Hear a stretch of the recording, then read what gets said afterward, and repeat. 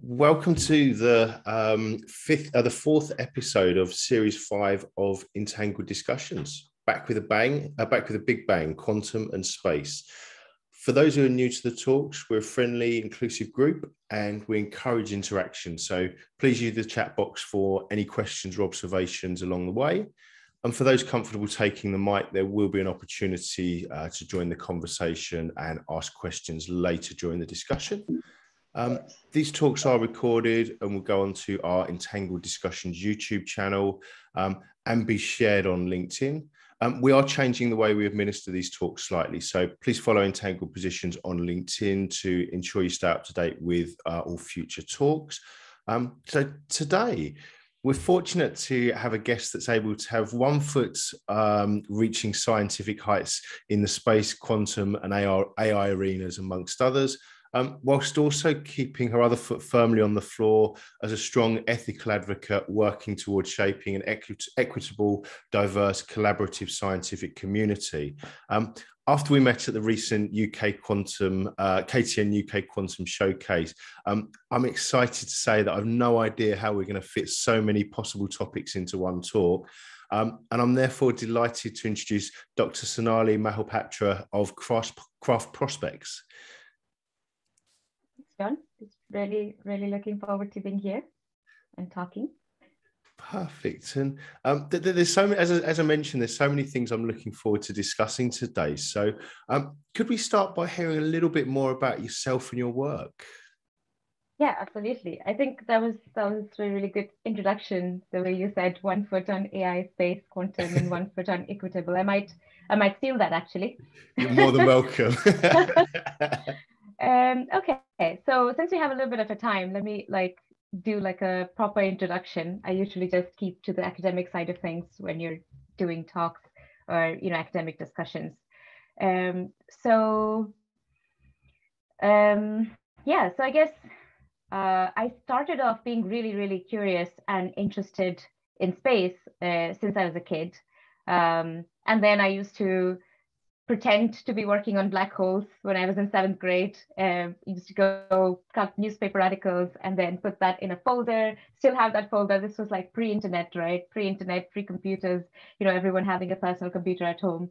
Um, and I also, I, I think the first book that I got as a um, like a uh, gift or not exactly a gift. I won in a science exhibition uh, in which i was not supposed to take part in the fir- uh, in the first place. But i won that science exhibition and we got this book called i think it was about robots and artificial intelligence in space. And i think that's that was the beginning of like you know when i started to dream about space. Um, and after that i basically like i got lucky. Uh, there was a time after my 10th 11th 12th grade in india uh, when they were really starting to drive uh, basic science research. And so they had introduced quite a lot of scholarships for students of various different backgrounds. And I won the scholarship known as a um, young uh, young scientist encouragement fellowship, roughly translated. And that basically covered uh, my undergraduate and master's in Indian education of science education and research. So those are uh, five to seven, I think maybe eight now research hubs that were set up by the government of India during that time to push forward basic sciences research. And I think that was the beginning of everything because that uh, model, which allowed us to have basic sciences interdisciplinary research in the first three years, we did engineering, we did uh, basic sciences in maths, physics, chemistry, biology, artificial intelligence, programming. You know, I even built my own solar cell. I built a artificial intelligence program which would teach computers how to learn rules based on how young children's uh, minds work uh, and educational models like that. And then after some time, I figured out that no, I, am still pretty interested in black holes. Uh, and then I found my way to Caltech, uh, where I did this undergraduate research program. And I was one of the 25 researchers working on the prototype interferometer that uh, LIGO had uh, built.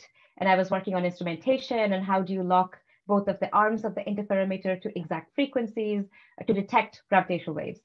Um, from experiments from this, then I kind of took a roundabout way to come to theory again. So since I was doing optics, I then went and worked in another Indian lab in how do we use optics and light scattering techniques to detect cancer. uh, without any invasive technology. And that was also quite, quite an interesting project. And then I figured out, no, I really wanted to just pursue doing uh, theory for some more time. So I did my master's, uh, first master's thesis in um, loop quantum gravity, which is a kind of quantum gravity theory that you do to understand what happens inside of black holes, what happens at very, very, very tiny length scales in our universe. Uh, that was combining quantum and gravitational theories.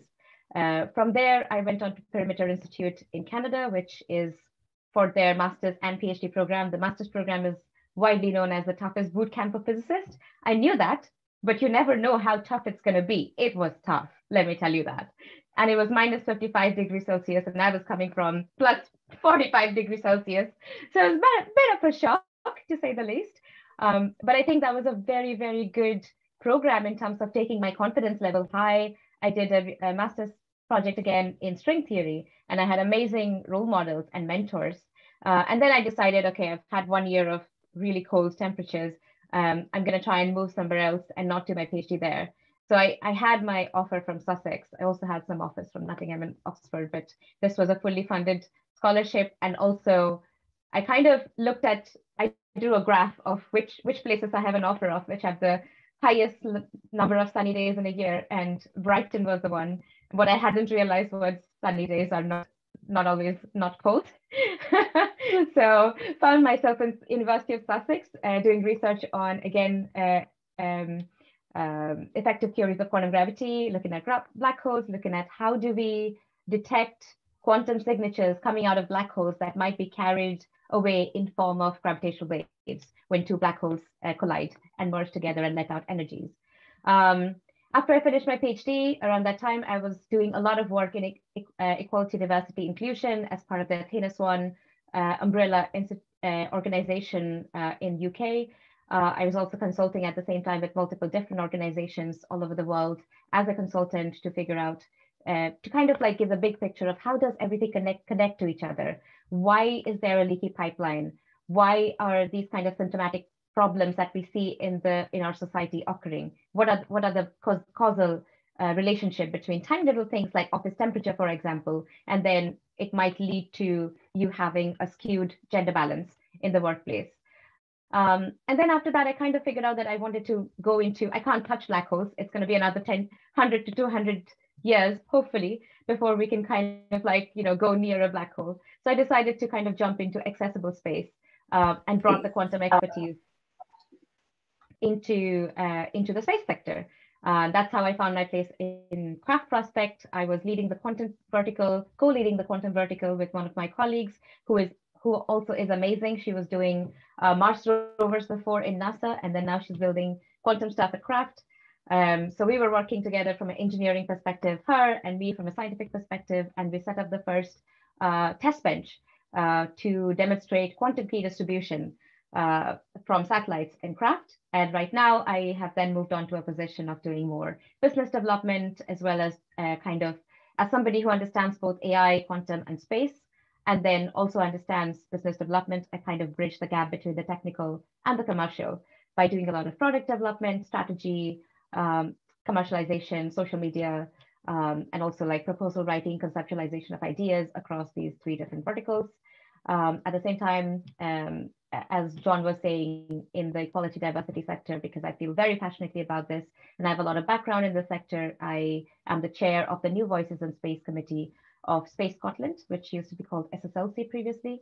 Um, and we are going to uh, roll out the equality, diversity, inclusion guidance pack for companies and startups, uh, whichever stage of your growth you are in. What are the top things you should be keeping in mind? What are the very practical tips that you can uh, implement in your workplaces and so on?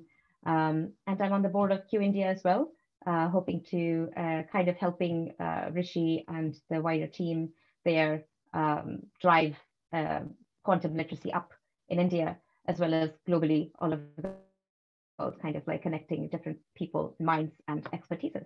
So that's kind of my story till now, I think. so um, where to start? so I, I, suppose the um, the obvious that the, the, the if there is an obvious place to start would be um, you kind of alluded to this but um, with with all of the different skills that you've you've developed and um, um, attributes that, that you clearly have, why space and quantum? I think I've just always been really interested in something that seemed fantastical or just out of our reach. And anything that challenged me excited me. And so space was always something, I think like space, like humans have been driven by space curiosity from from the you know from whenever we started to think. And so i am i'm no different in that respect but i was always very curious about what can i actually bring to the to space? What can i find out about space? Um, and then quantum again i think i think for some reason i understood quantum mechanics much better than classical mechanics. And that that's something really hilarious because i did horribly bad in my classical ex- mechanics examinations. I did not understand anything about that at all. Force diagrams? Oof i don't understand all that. But quantum mechanics made sense to me. Um, but also, I think everyone laughs every time I say this, but I did come to physics because I love fantasy books. And I found that physics is actually like real, real world can sometimes be much more fantastical than what you read in books. And so wherever there's the fantasy and the mystery, I'm right there. so, so very much a, a marvel of the space race. Absolutely. Yeah. um, and then, so, so obviously that that's from the the fundamental side. So with with your business hat on, um, why why why are why is um, taking quantum and AI to space um, important to both people as, as individuals and and businesses as well? That's a really good question. Um, so what drives me personally in this area is uh, how do we bring about a better future for humanity together? And we're all in it businesses, governments, different kinds of stakeholders, individuals as public, individuals as people who are interested in their own futures, as well as driving uh, a sustainable economy. Um, so quantum, so you know, the space race, the new space race, which has again started off this uh, recently, is kind of based on the fact that space has become a bit more accessible to people as opposed to only being the domain of really rich billionaires and government entities who have the money to be spending on huge space, space missions. And that happened because engineering also developed at the same time. So these tiny little satellites called CubeSats and nanosatellites, small satellites, which are basically of form factors like 10 centimeters times 10 centimeters times 10 centimeters cubes, which are which can be stacked on top of each other to form satellites which are you know this big uh, something like the size of a big cereal box, for example. And these were first built to enable students in Stanford to be able to get hands-on experience in satellite building. But soon, uh, the space industry realized that these are really cost-effective ways of putting instruments in space. And we don't have to uh, rely on really big teams. We don't have to rely on government funding. We don't have to rely on extremely large amounts of money. And we also don't have to worry too much about all that money going down the drain when something fails. So this is what has driven the growth of a large amount of startups in the space sector uh, all over the world. Um, and Craft Prospect is one of those companies which is using CubeSats to augment technological developments in space, which will in turn help the development on the Earth. Um, and so quantum is one of those technologies which has a very interesting history. So when we, I was doing my PhD and masters and everything in quantum, I did not think that I already knew that you know electricity is quantum. You know, it's electrons, uh, quantum particles which are running all over us, all around us, lighting up our world. Um, and we were already kind of living in a quantum economy.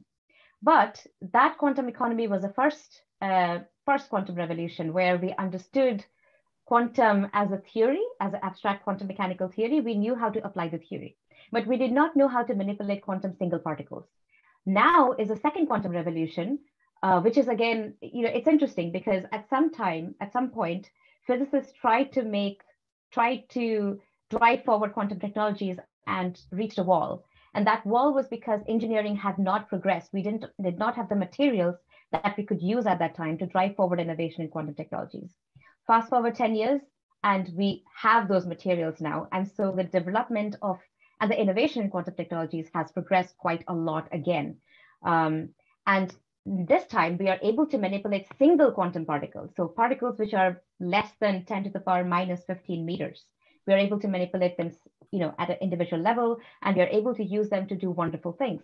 So what quantum can help us do is either it helps us measure something which we could not measure before, see something which we could not see before, or it allows us to measure the same things we used to be able to measure before, but in a much more precise manner.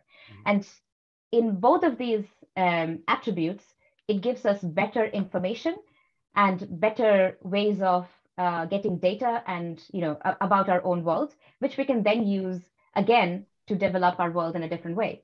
So, for example, quantum sensors. There's multiple different kinds of quantum sensors which are which have uh, found themselves uh, out in the world now. So they can be quantum images, they can be quantum brain sensors, which can detect different kinds of brain activities, and so can be used to uh, augment the lives of people with autism, for example. Um, there are sensors which we can, which are actually in a talk at some conference recently at Cambridge uh, City Council, I think. Uh, they are already starting to look at how do we in, incorporate quantum sensors to figure out uh, how do we make our council a better how do we make our city a better place to be in? So water sensors, uh, we can use quantum sensors to figure out what is happening in the soil. We can use quantum sensors to figure out tiny different changes in the magnetosphere on Earth, so we can detect if there is a global um, uh, space weather event that's going to happen in the near future. And if there's a space weather event that happens, it will take out our whole power grids. And that's going to bring down our whole economy again. So it's very important that we prepare for these kind of um, events that are in the future, or even now uh, by doing imaging, uh, by doing uh, gravimetry, for example, to find out where resources are there underground, for example. And specifically what I work on at the moment in quantum is quantum key distribution. So we know that quantum computing is really, really interesting. It's going to open up a whole world of possibilities. Uh, quantum computers are going to be used to detect multiple different kinds of weather patterns, to optimize multiple problems and find their solutions, uh, solutions of which we couldn't find beforehand. But on the other side, they're also going to undermine our whole security, cybersecurity network that we have built all over the world. And especially in recent times with remote and COVID working, um, we are reliant on technology. We are reliant on our data being protected by cybersecurity companies. Now, quantum computers are going to be able to break those cybersecurity, which are based on um, RSA type algorithms, on public key type cryptography systems, in less than a minute, which would have taken original normal computers uh, to calculate um, more than the lifetime of the universe. So it's important that right now we start thinking about the solution to that because we want to be able to use the good aspects of quantum computing while protecting ourselves against the threat of cybercrime syndicates. So quantum key distribution is a quantum solution. There is another solution known as post-quantum cryptography, but that's not a quantum safe solution. It's going to be able to provide us security against quantum computers for many years in the future, but probably not for forever. So it's important that we start thinking about future-proof solution, and that's where quantum key distribution comes in. And where does space come in? If we want to do terrestrial quantum key distribution, then I can only be I can only send a secure key uh, up to 500 kilometers, and that won't even reach you, John. You know, so mu- much less a global global internet, global quantum internet network. So the idea is that we are starting to build the global quantum ecosystem. And in order to go towards a global quantum internet, which protects everyone around the globe, and we are able to do global quantum uh, key distribution services, and so we protect everyone going forward together, we need to be able to form relays. And these relays are satellites for us. So we will be able to send keys down 500 kilometers in a LEO orbit to yourself. Then the satellite comes over to me, sends out another secure key. Then we do some complicated operations, find a common shared key, and we'll be able to have uh, encrypted communication, uh, encrypted by a quantum key, which would not be able to be eavesdropped by a quantum computer, right? So that's what that's where space comes in to make it affordable, to make it accessible to everyone, and we use small satellites so that it's affordable and it's you know has a bigger risk appetite. We are able to use small components that we find in the market. We just buy them and we customize them, and then we try and miniaturize, miniaturize, miniaturize put make everything small and cute, put everything in a CubeSat. And the first of its launch is going to be next year. So I'm really looking forward to that. Fantastic. And one of the things that that, that comes up quite often is um, quantum nationalism or global collaboration. And I think with space, it's one of the areas where it's fundamental because um, that if you take the um, satellite relays, for example, uh, they they have to um, be available to um, uh, across across different nations. So, from from from your vantage point, um, what do you see as the, the sort of the, the, the the current trends? Is it are we working more towards collaboration or more towards um, um, isolation or, or or strands of, of each in between? Yeah, that is a very important as well as an interesting question. Um, I think there's a bit of everything at the moment. So obviously, when you know when these these kind of uh, technologies are early stage technologies. So when researchers researchers were developing them and taking them forward, there's always a wide collaboration among researchers everywhere in the world. Mm. Um, all of that technology, all of that know-how is always shared in term in in papers, in arXiv, and all that, mm. right? Um, also, if we want to introduce a quantum, if we want to develop the quantum infrastructure the, of the quantum internet of the future, one country would not, we have to standardize our components. We have to standardize our hardware. We have to be able to talk to multiple different satellite networks. It's not going to be possible to do it only, you know, country centric. It has to be global. So I see a lot of collaboration going on in that kind of arenas. There's a lot of bilateral agreements between countries and nations. For example, currently uh, we are we have built uh, one of the world's first quantum sources, the weak a particular kind of quantum source, a weak coherent laser pulse source for CubeSats. Um, entangled photon source was actually built by uh, SpeQtral a couple of years ago uh, in Singapore, um, and we are building that source for our own satellite mission, which is coming up next year. But also we are uh, under the UK Canada bilateral agreement, we are uh, delivering that onto Canadian mission known as uh, QEYSSat, which is also launching next year around similar timescales. And so in the future, we also want to be able to uh, link up ROKS to the Canadian ground, ground system um, architecture and link up QEYSSat to ROKS ground station, for example, as well as uh, look at uh, having intersatellite links between ROKS and QEYSSat. And so we are also talking to multiple other different companies who are all over the world at the moment trying to look at these kind of collaborative um, interoperability exercises so that in the future we won't have to design everything from scratch. It's much easier holding each other's hand and do. There's obviously complicated things like IP protection, for example, which mm. countries want to do. And then there's complicated export laws that come into place when you're trying to send these kind of uh, technologies, sensitive technologies uh, abroad.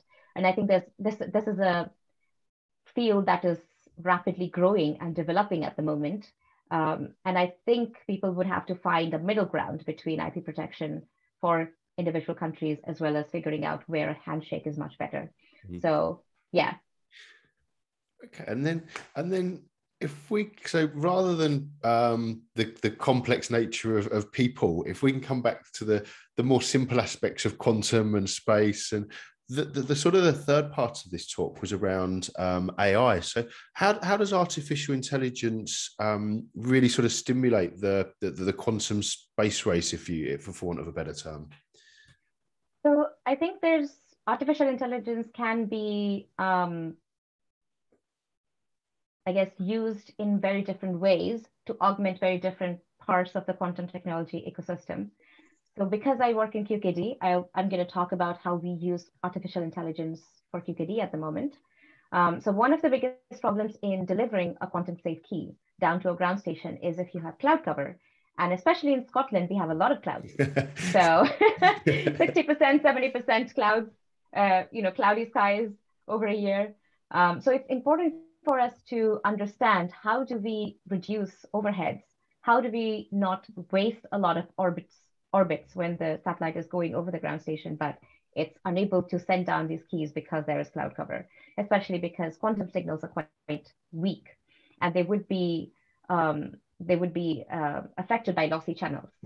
Um, so we have a forward-looking imager, uh, as th this was one of the first products that Craft developed, um, which is basically a lightweight neural network uh, deployed onto a hardware called the FPGA, uh, and it interfaces onto multiple kinds of sensors. So it could potentially be used for multiple different use cases, like Earth observation, if you want to do, you know, cloud detection, fire detection, wildlife detection, um, night light detection, all of those kind of things. But we are going to use it for cloud detection uh, on ROKS, our mission, which is coming up next year.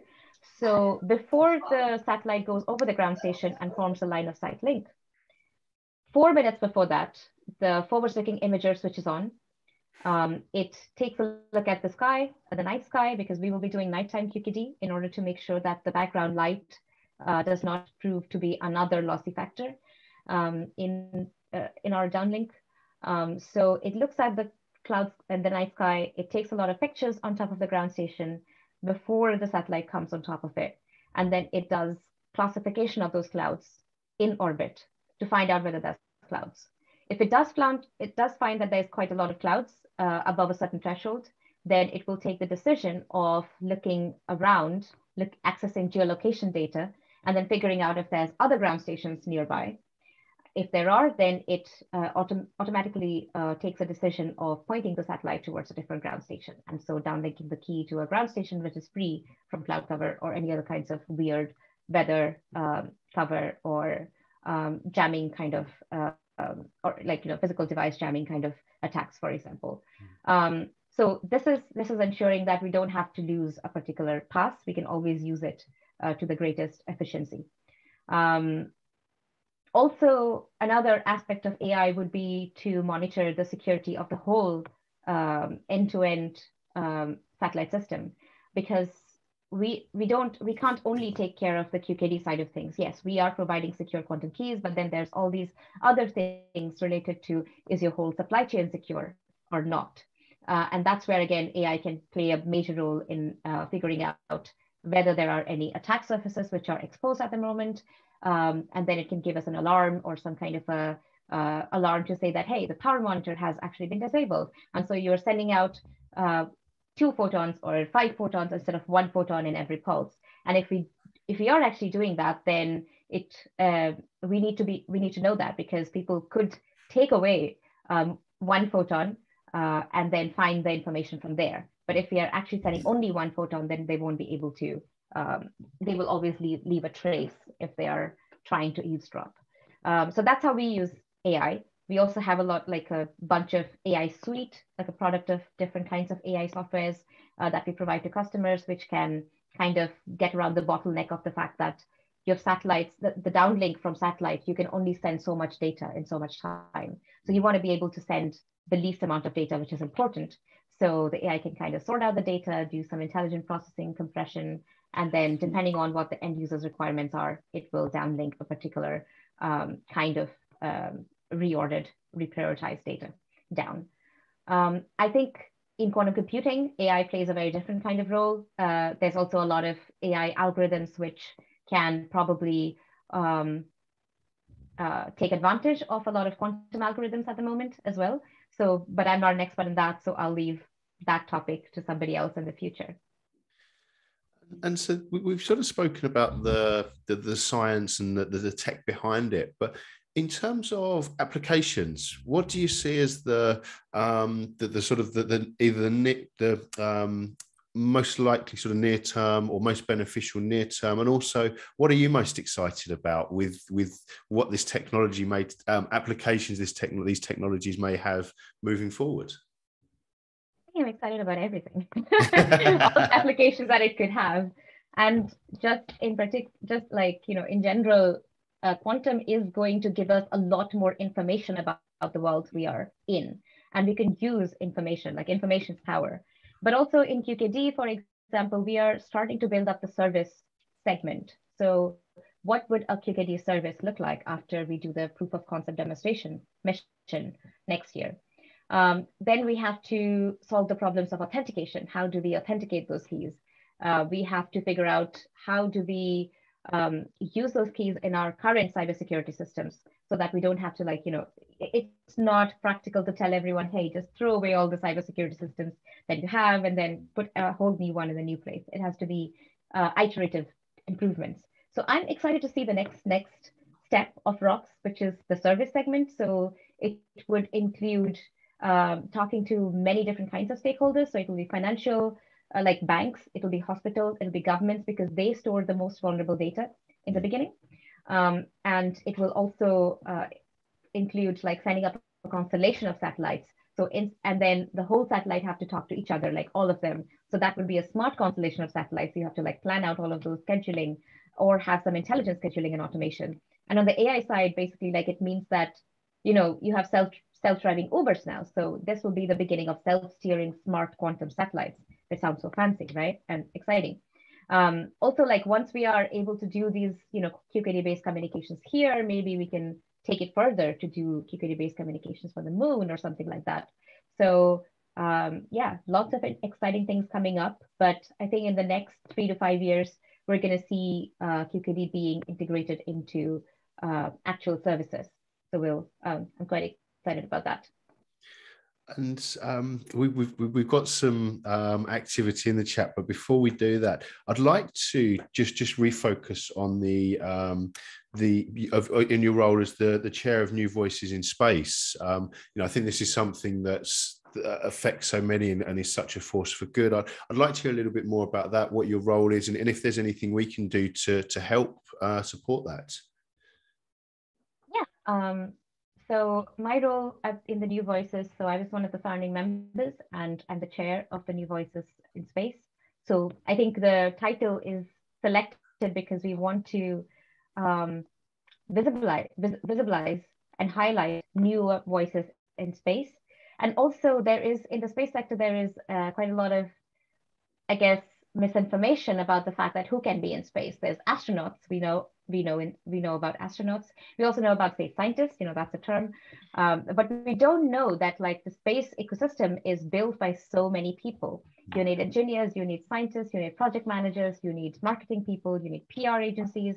Um, you need somebody who will be able to write. So like you know space speakers, space writers, space psychologists, um, space um, I don't know like farming and biological advances, um, space medical you know, there's so many different kinds of professions. Space law is becoming very big. Um, so one aspect is to visualize the diversity of uh, careers that is available. The second is to visualize the diversity of thoughts that people, that especially in the UK, there is quite a range of diversity and ethnicity uh, that exists, but then that is not reflected in the space sector or the quantum sector at, at, this point. So we want to make sure that that is there from, you know, from right from the beginning, um, the, the space sector in the UK is like 10 years 10 years uh, old and it's not a bad time to start just making sure that you know that diversity of information is coming through and diversity always leads to innovation so that's the third you know maybe uh, I don't know selfish aspect to make sure that you want to have diversity in your uh, in your ecosystem. Mm-hmm. And as part of that, we run lots of competitions. We are uh, putting out an equality, diversity, inclusion guidance pack for uh, for companies in the space sector uh, to give them very, very strong uh, and practical tips on what you can implement in your workplaces. So the example I always give is there, there are these tiny little things that we miss out when, so first of all, we 51% of the world is women. And for a long time, we have missed out 51% of our workforce imagine how much further we would have been if all of our workforce would have been involved in our decision making, in our innovation, in steering forward our future. But we haven't done that. But then better late than never. So let's let's get all of the women here. The second thing, and then after that, I started understanding the nuances of being in a queer community, of understanding how much this affects people in the intersection. So if you're a woman and you're belonging to the LGBTQ community, or you're disabled, or you come from, you know, uh, bad financial situations, all of that can lead to multiple different other problems in your life, which um, you were not aware of, or people in your workplace are not going to be aware of. And that is going to make you more vulnerable to microaggressions at work again. So, for example, imagine that somebody is having abuse at home. And again, there's high correlation between which kind of demographics are more vulnerable to abuse at home. And then they are again juggling work and home life at the same time. And then if you don't have support for those kind of people at work to understand how to provide a safe space, for example, then you are going to lose those very talented people who would be able to bring a super interesting um, solution to your ecosystem, for example. Um, office temperatures, they are they have been set in the 1960s. They are uh, set according to a human a ma average male body. And that usually means that women, uh, you, you see women having like three or four or five jackets on the back of their chairs in offices. And that's because a woman's body, uh, the metabolism works at a higher temperature. And again, there are those tests before, which used to test for, you know, those stupid tests, which used to test for, are do women have the brain to do physics?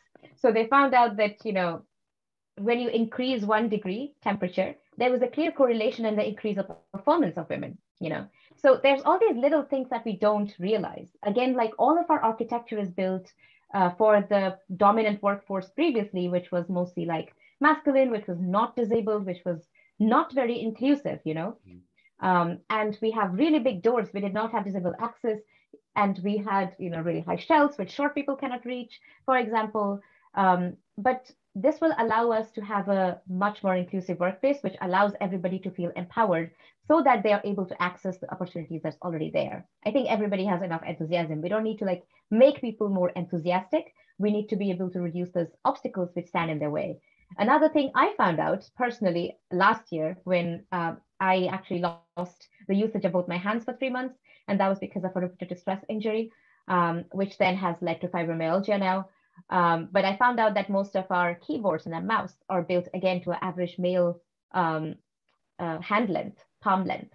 And that means that women are more um, vulnerable to having a lot of these kind of uh, repetitive stress injuries, for example. So we are physically actually destroying women. We do not know that, but we are actually doing that very much by our design. Uh, bulletproof vests, they are again uh, built for uh, an average man. They're not built for short people. They're not built for women. They're not built for, you know, not your standard sized hmm. um, men. Uh, so it leads to 17% more women to die, for example. Same for car airbags. And, you know, you can find so many of these uh, in an amazing book uh, by, um, I'm forgetting the name, but it's called Invisible Women. Um, and I would highly recommend that book as a reading material. But then uh, I basically go to a lot of gender conferences. I get invited where uh, after three days of talking, like everybody has their expertise and everybody gives you a highlight into what they're working on and how this is affecting people in the intersection of vulnerable demographics.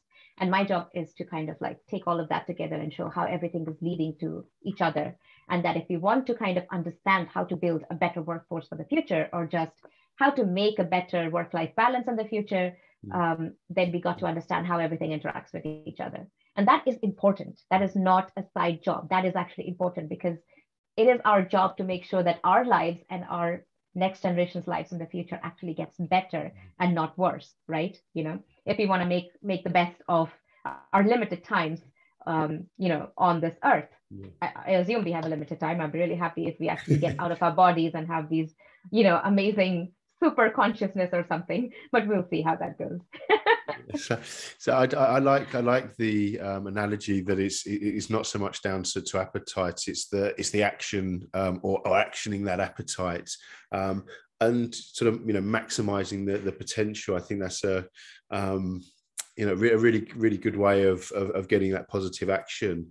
Um, and I did promise that we wouldn't um, leave today's talk without mentioning Marvel and, and where that fits in. So, um, and I'm conscious there's lots of people in the chat, so I'm going to leave that as my last as my last point. okay, so Marvel, right? I love Marvel, and I think I didn't I didn't used to like Marvel as much as a kid. And over the time, though, they have made like, you know, the fact that a really big organization, which actually has a lot of money behind it, mm. they have started to like expand their portfolio. They have started building up their female uh, characters, you know, the nuanced development of the 3D nuanced development of those characters. Mm. And then a lot of like, they're tackling a lot of different kinds of issues. They have diversified is the is the word and that then gave me access to marvel. I was like oh my god they were keeping this feeling from me in the in the past. And i love sci-fi. I love you know i love anything to do with cool gadgets and i love anything to do with asking those big questions. And i think one of my favorite shows right now is um, the one on disney plus what if? So basically it talks about like multiple parallel universes that might be existing um, beside our own. And you know all these different things that could change if one thing had changed uh, in those universes so I think Marvel is just a great way of getting young people to start to dream about all these cool things. And the fact that they have actually made a conscious effort to diversifying their portfolio and to ensure that everybody is being inspired and not just one kind of people are being inspired, that is giving me great hopes for the future again. Yeah, so a new a new turn of phrase for the or a new um, use for the for the phrase a modern marvel. Yeah. um, um, we, have got some um, activity on the on the chat box that I'd like to, to start to bring in. So, um, Dr. Anoop, um, if you're if you're able to, um, please please do take the mic and join us. Yeah, am I audible? Uh, yes, you are. Yes, you are.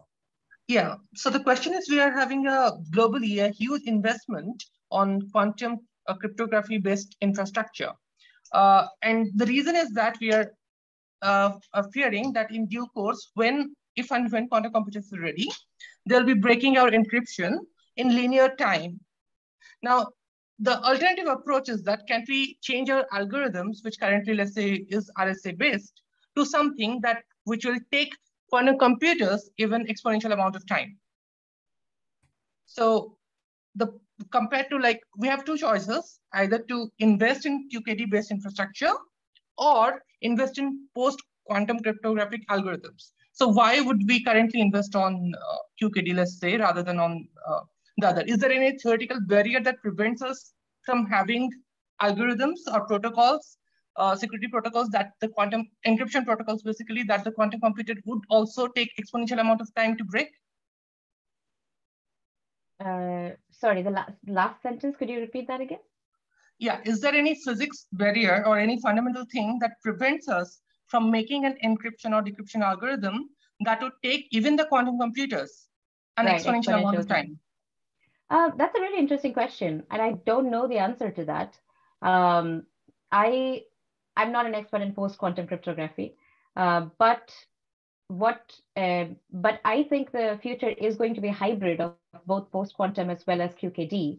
I'm not sure if we can actually develop algorithms in post quantum which would take quantum computers an exponential time to break as well. Um, but that would be an interesting, and I'm sure like people are starting to think about it. Or if not, then you know your question is going to start that uh, thinking. Um, but I guess the reasoning behind why people are already starting to develop QKD infrastructure is just that QKD um, provides you a way of always knowing if you have been eavesdropped, right? So I think that's the lure of QKD. Um, but also, I think it's widely understood that QKD cannot be a solution on its own right now. It has to be a hybrid solution uh, with post-quantum algorithms. And post-quantum algorithms already, like NIST, for example, is thorough uh, competition as well as standardization of what kind of post-quantum techniques should organizations already start applying in their uh, systems because it's a bit easier uh, to uh, adopt those kind of solutions right now. Um, but yeah, the, the, the lure of QKD is more in the fact that if you have somebody trying to eavesdrop while you're sending down the key, then you will always, always know that there is an eavesdropper and then you'll be able to discard that key. And use yeah, a new one. a follow-up question to that was like, currently most of the security breaches are not based on uh, like uh, breaking the encryption, but it is hmm. mostly based on like phishing attacks or other thing that kind of uh, affects the authentication of it. Right. So is there quantum, uh, is, does quantum magnetics provide a solution to that in terms of authentication? Because currently those problems that exist currently people are getting mm. hacked and all, that will still persist even with QKD because those are breaches of authentication and not cryptography. Yeah, absolutely. Uh, we we have a project currently starting, uh, which is going to be looking into that. Um, and especially, I, we know that there is problems of authentication with QKD as well. And also, if you add a new node, for example, if you add a ground, new ground node, uh, you have to authenticate the new ground node before it can be able to use a quantum key. So right. those are problems that we are currently looking at. I don't know the question. I don't know the answer to that, but hopefully we'll know in the next two to three years. Is the hope. Yeah, thank you for the answers. Um, and I really did, good questions. Thank you. Um, and you know, whilst I'm not um, technical myself, I was on the um, a meeting with the Quantum Strategy Institute earlier, um, and one interesting takeaway from that was that, that the comment that actually that that post quantum cryptography would be better labeled um, post Shor algorithm um, cryptography um, because what occurs as the quantum 2 revolution um, progresses uh, may be unknown. So that may be a, a slightly better way of, uh, of phrasing that. Um, and we, we also have um, Alexandra, uh, um, sorry, Alexander um, uh, posting um, a couple of questions. So, alexandra if, if, you'd like to come and join us. Uh, thank you very much. Yes, so um, my question was, uh, first of all, about the optimism um, with respect to um, universal quantum computers. Uh, right now, as I understand, the most amazing fact is that we did not hit any wall yet when uh, increasing the size of our structures. And uh, I would uh, say that the main feature of the second quantum revolution is not as much as we can control single quantum particle as our ability to create a very large scale quantum coherence between a large number, macroscopic or mesoscopic number of particles. But we have uh, yet no guarantee uh, that we will not hit such a wall. You know, even Penrose proposed that we will have some uh, things related to gravity and so on and so forth. Uh, so uh, this is uh, one possible stumbling block on the development of this. And the second um, uh, thing that I wanted and uh, to mention is that uh, even if it, if there is no such fundamental barrier so far, there is no reliable way of uh, um, simulating and uh, characterizing large quantum structures. Uh, I we know about very optimistic plans for developing, uh, uh, say, million qubit universal computers, but uh, I'm afraid that fundamentally you cannot uh, simulate more than few hundred, maybe a couple of thousand if we take, uh, if we employ all the um, computational resources of this planet. And uh, so this will be the next bottleneck. And uh, uh, so I, uh, my question was, what happens if we do actually run into this? Shouldn't we plan for this as well? Uh, shouldn't we kind of uh, qualify our mm. expectations? Um, not sure on the quantum computing side um, because I don't work on quantum computers at the moment. Um, but when we are thinking about, but those are all very interesting points, and I'm, and they should be thought about right now. But I think people are quite excited that we have actually managed to build coherent large scale quantum structures, and we have the materials to build them yeah. right now. Um, and that's great. Um, and I like the optimism. But yeah, let's think about the blockages as well. In QKD, uh, the dream of having a large network um, of constellations and high altitude platforms and um, for example, able to provide keys to remote locations such as a moving uh, ship or an oil rig somewhere, or you know having a fl plane flight somewhere. Um, there are prob there are again problems here. Um, people are already starting to model those networks. Um, some of some of those networks are actually problems we, we can't solve. They're NP hard.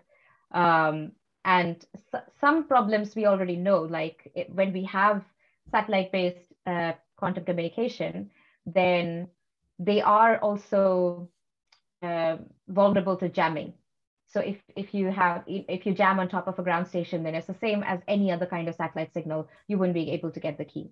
So at the moment, how we are uh, um, thinking about this problem is because of the way we analyze and post-process our keys we will download around, let's say, 10,000 keys per month into a ground station over, over a month. And then that gets stored in a buffer, um, which then gets post-processed at a suitable time, again, over a RF link with the satellite. And then as soon as it gets post-processed, it needs to be used up. Um, so you would always have a bank of these keys to rely on in case the satellite network is jammed that's one that's one problem that that's one way people go around this problem um, but again i think uh, we're starting to think of projects on how do we actually model those kind of problems? How do we mo model weather patterns so that we understand um, keys can go down properly? How do we model how the atmosphere looks like? There's like so many different kinds of variables at the moment, uh, which at the same time makes it really hard to come to a final service model all at once, but also I guess makes it exciting at the same time. And that is why collaboration is also key because everyone's kind of looking at a tiny little part of this. And then all of that has to come together. Um, but about your uh, about your worries about the coming to a wall in the quantum computing uh, arena, that that is super interesting, and I'll go look at that. That's not my expertise, so hopefully somebody else will be able to answer you better on that one. Thanks. Uh, so, yeah, and just one uh, small question. Uh, you are planning to use uh, optical range communication with satellites, right? Yeah, so the quantum channel is optical. It's yes. on the near infrared. Uh, why not? Why not microwave? Because we are using single photons to carry the information. Mm, in principle, theoretically, you could uh, detect single microwave photon? Mm. I think that so some of the things that so first of all we were considering the 1550 nanometer range. Um, uh, so that has been developed quite a lot. The technology here has been developed quite a lot due to LIDAR. So that has been used in LIDAR technologies. Um, and next to that, we found the technology that was easier, easiest to use and the optical ranges of the beam splitters, the, um, the dichroics that we're using, for example, uh, they're available for the 7, 700 to 850 to 905 range. So a lot of these decisions are taken in terms of what kind of instrument do we have available at the moment. Um, Got it. Thank you. Yeah. Um, and Can't think just, of what exactly we don't have in the microwave range now, but we'll look into it. Um, and just on the um, scaling of, of quantum computers, um, I'm going to sort of badly paraphrase um, one of my friends who's on the call, Rupesh uh, Srivastava, um, who was who was um, sort of asked questions around as you have an extra logical qubit um, and you know potentially double the, the, the power of a quantum computer um, and it, it's past what can be simulated. Um, what's the the you know how do you um, assess whether the results are correct? Um, and what's the kind of mechanism to um, use the, the the data you receive from that? So um, not necessarily an answer but maybe um, another string another thread to that um, to the to that discuss part of the discussion. So just on a slightly different um, track, um, Youssef was asking a question about gravitational waves. Um, Youssef, would you would you like to come and join us? Uh, yes. Hello. Can you hear me? We can do, Youssef. Yeah. Okay. Uh, so my question is um, this uh, quantum at chase, like when we uh, we have some uh, quantum communication with photons. Uh, what is the effect of um, of gravitational uh, waves and um, like uh, more generally the general relativity of Einstein? Because we know that, uh, for example, GPS take that into account, but it's not quantum. So quantum um, communication uh, in space uh, has to take that into account, or it has no effect on quantum mechanics, the gravitation yeah, I uh, mean, we still have to take into account the Doppler effect and the redshift, for example. Um, okay. As as you do also in GPS signals, um, but like if you have quantum entangled communication, so we do single photon quantum uh, QKD, quantum key distribution. So we send single quantum particles, but then other people do entangled quantum key distribution. And you would be able to use quantum entanglement to, um, to catch the effect of gravitational waves or just the, catch the effect of gravitational curvature um, on those kind of entanglement and figure out, and people are hoping that we will be able to send out two, two or three different satellites and have like, you know, entangled photons on each of these satellites and then see what the effect of gravitational um, curvature is on those uh, entangled photons. Um, I think there's also really interesting experiments planned uh, by using small satellites and quantum sensors and atomic clocks, quantum atomic clocks on them. So if you have like a huge swarm of small satellites and you have a range of quantum atomic clocks on these small satellites in the in the atmosphere or in, in LEO orbits or GEO orbits, something like that. And then you have a range of uh, atomic clocks on the ground as well. If there's a wall of um, any kind of wave, so if it's a gravitational wave, but also like if there's dark matter um, or dark energy that passes through uh, these atomic clocks in space, and then it comes and passes through the atomic clocks on the ground. And then you will see that the atomic clocks on both places kind of have slightly different measurements. And that would be able to give you information on how these kind of particles or these kind of fields, which haven't yet been seen, have an effect on fundamental structure constants of our universe. Um, so there's a lot of applications of, you know, fundamental quantum technologies in scientific research as well in the future. Okay, thank you very much for the very nice uh, answer. Thank you. Um, and then we had um, Alan asking um, a question about quantum teleportation. So, Alan, would you would you also like to, to come and join us?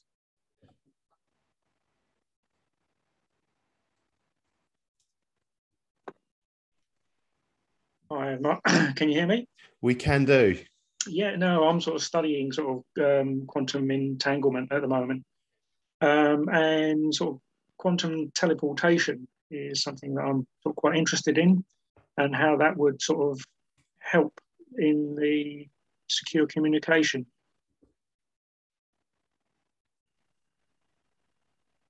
So quantum teleportation, how can it help in secure communication? Is that the question?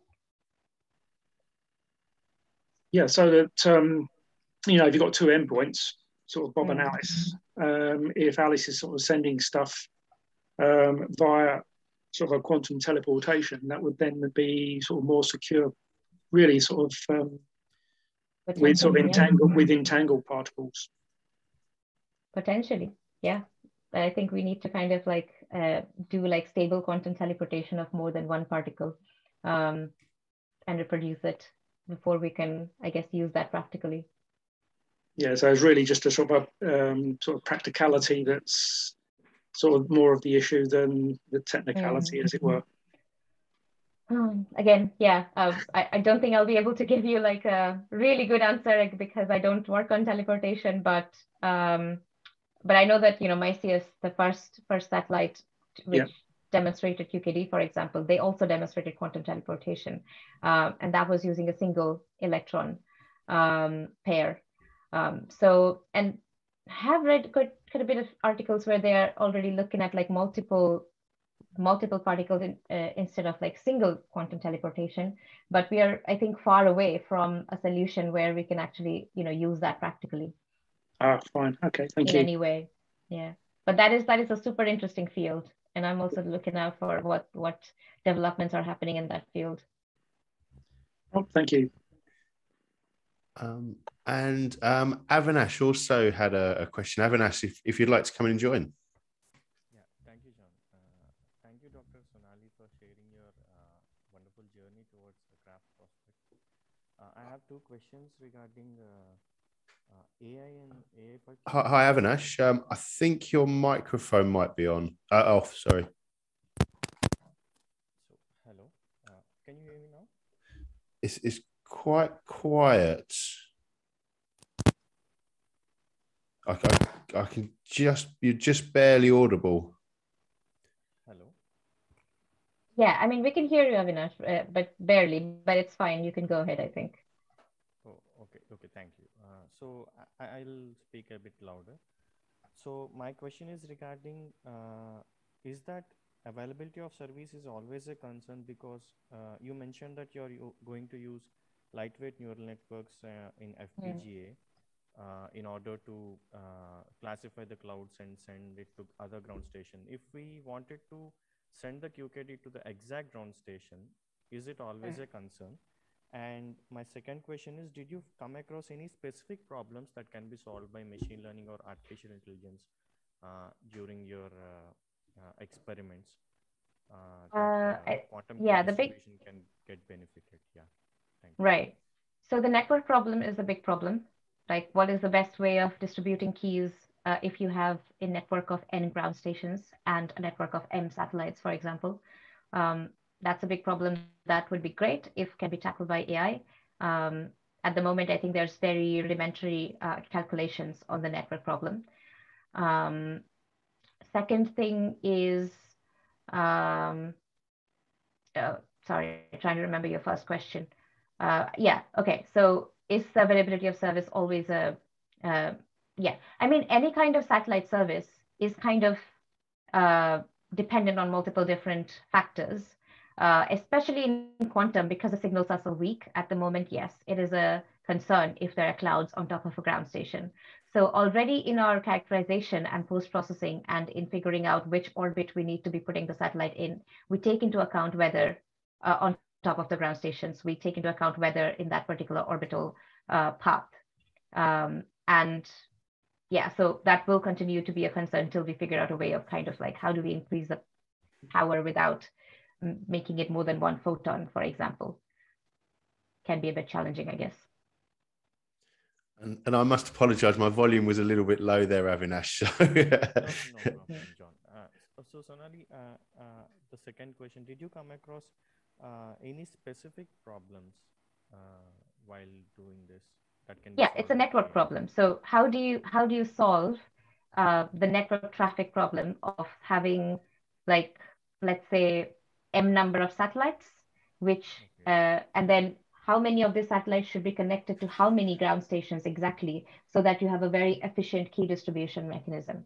And that would be slightly different to classical network problems uh, because of the unique properties of you know quantum um, and how how those photons are going to be distributed and how the X, XOR um, you need to do an operation to ensure at the end of the day that you have a key. Uh, you also need to be able to do a, extra post processing at the end over a classical channel. So you have to have one quantum channel and one classical channel between a ground station and a satellite.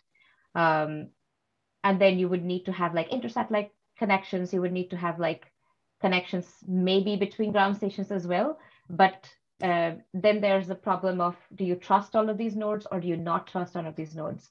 Then how do you make sure that you are performing authentication and which kind of um, uh, protocol would you need to be able to use in the ground stations after you have put in the quantum keys. So a lot of these problems are unsolved, like haven't been solved at the moment. Um, I don't know if machine learning is going to be the best way of solving this, but it could potentially be. Thank you, Sonali. Thank you. Yeah, and um, yeah, I guess another way of getting actually around the cloud problem is if we increase the frequency uh, quite a bit of the optical communication. Um, and I think people are also looking into that. So at the moment, we are going between 100 to 200 megahertz.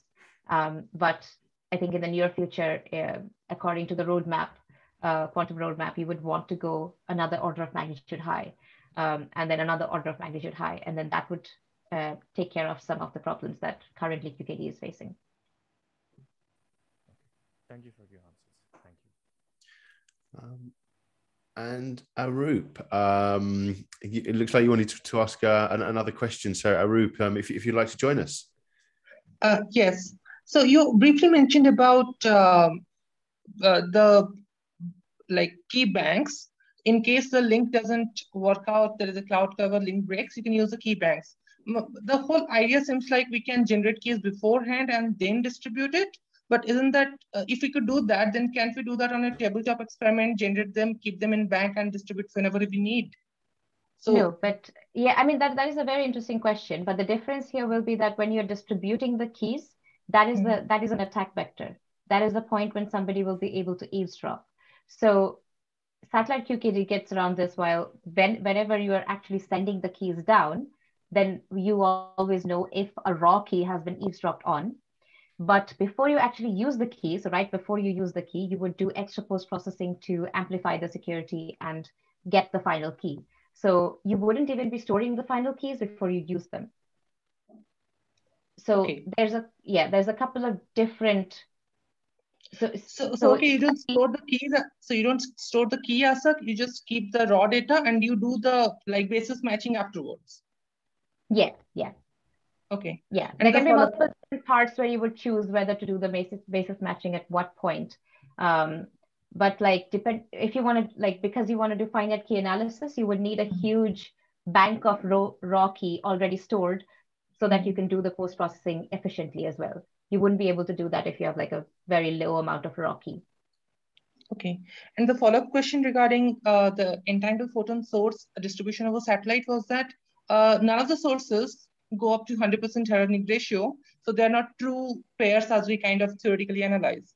So now every such practical implementation would have is associated error rates and uh, the I mean, the security is lowered because these are not genuine true single photon source. We have to live with a certain heralding ratio. And this also, I mean, of course, we can do coincidence measurement, but then uh, to filter them out, like to get the true single photon S, but how do you synchronize multiple devices such far so that uh, we select the coincidence pairs only? And can't Eve modify those classical signals?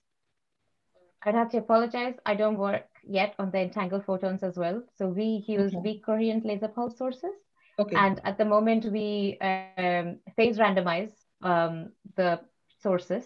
And then we ensure that we uh, attenuate the output of those sources so that it's less than one photon on average uh, output per laser in pulse. Which, into which time scale, basically? Like mean photon number is one within which time scale? Uh, over I don't know, like uh, nanoseconds, is it? Yeah, yeah, nanoseconds. So mm-hmm. each pulse, like the difference, the temporal difference between each pulse is around one nanosecond or 10 nanosecond. I can't mm-hmm. remember at the moment, but it's nanosecond scale. Mm-hmm. Um, and uh, then we also have a power monitor, which will then um, look at the output of those uh, laser pulses and then give us the reading so that we can be sure that we are producing less than one um, photon uh, on average. Mm-hmm. Uh, okay. On so it's a decoy state protocol. It's a sorry? Decoy state protocol. It's the decoy state protocol. You're right. Yeah. So uh, SpeQtral in Singapore as well as RAL Space in the UK, uh, both of them do entangled photon QKD. And the way the um, space QKD uh, ecosystem in the UK works is the government kind of gives different kinds of grants to different kind of companies so that it kind of builds all the different uh, ways of doing QKD at the same time. So we do single photon, but obviously not true single photon sources at the moment. Um, and then RAL Space does entangled photon. Then over the UK Singapore bilateral collaboration, SpeQtral also does um, entangled photon in Singapore. Yeah, thank you I for the detailed Canada, answer. Yeah, Canada also does entangled photon, but they're also using our single photon sources to do decoy state as well on their satellite. Okay. okay, thanks for the detailed answer.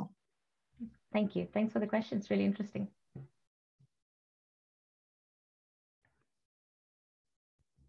Seem to have calmed down a bit now. yeah, I, I, just come back off of mute and, and and thanks for for all of the answers as well. That was um, a fantastically wide ranging. Um... No, I think thanks for the questions. They were. I, I think there are some questions which I haven't like thought of as well, so I need to go back and think about them. And that's the that's the best part about having those questions and doing those talks. You know. Yeah, and I, and I think there, there was a lot about entanglement. So the, the title of the talks is obviously um, yeah. That's with... that's the next two three years on our roadmap but seems like i need to go back and start you know start brushing up my knowledge on that again now. Well, you're, always, you're always welcome back on entangled discussions to talk about future work. And um, yeah thanks thanks for, um, for, for all of the answers and all, all of the insights. And um, I know there's a lot that, that I'm going to need to watch back and, and try and unpack as well. So um, it, has been a real pleasure, real pleasure speaking today. Um, and you know, I, I, can't, I can't wait to, to come back at the end of the month where we'll have all of the, the month's um, speakers back for a true entangled discussion. Um, but before then, um, next for next week's talk, um, we return at the same time where Malak Trabelsi Loeb um, who, as our final guest, will discuss the unifying themes of diplomacy for the new space age. Um, as mentioned at the start of the talk, um, we are changing the way we administer these talks slightly. So just to keep up to date and up to speed with all of the talks as they as they move forward, um, please follow um, Entangled Discussions um, on LinkedIn, and, and, we'll keep you abreast of that. But um, once again, thank you so much for um, for everything today, Sonali. It was um, it's a real pleasure and a really wide ranging talk. So lots to think about. real pleasure being here, John. Thanks so much for the invite, and thanks everyone again for the questions. Absolutely fantastic. Thank you. Goodbye. Bye. Take care.